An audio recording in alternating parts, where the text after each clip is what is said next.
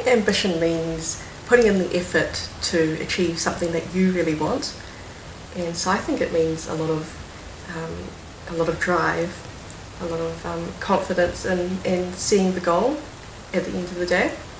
So, are you ambitious?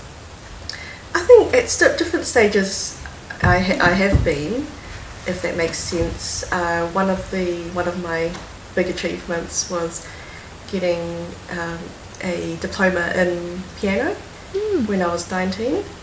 So I studied from age five until in, into my 20s, and that involved a lot of practicing every day and not necessarily thinking about uh, about what was something fun. I guess I'm in a different life stage right now because I'm a mother. So I suppose in that context, I'm ambitious not for, for myself but for my children. So my my goals right now is uh, for my children to be um, very emotionally aware, and that involves a lot of hard work because uh, in this world, it's uh, there's a lot of distractions, and it it means keeping them keeping them um, having fun and being creative and lots of play uh, in a world where we are distracted by technology and all sorts of things. If I asked you to describe the most ambitious person that you know, what would come into your mind? My grandparents, Mm-hmm. for Why? sure, Why?